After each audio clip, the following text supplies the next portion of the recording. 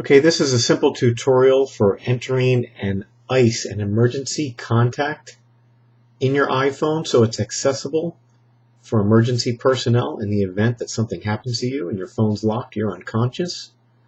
So you simply go to contacts and add a contact.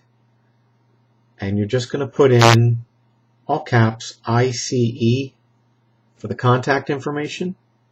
You're going to scroll down to the notes section and I've already captured and copied what I want. I've got call John Doe and a phone number there. I click done. My contact is saved. There's my contact ICE, call John Doe.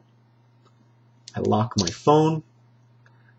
I'm unconscious. Somebody comes up, grabs my phone. They hold the home button. ICE. Okay, here's contact information for ICE.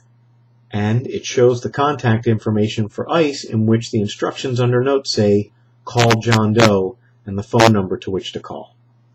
You should all have this on your iPhone. You should all know how to use this on an iPhone in case of emergency.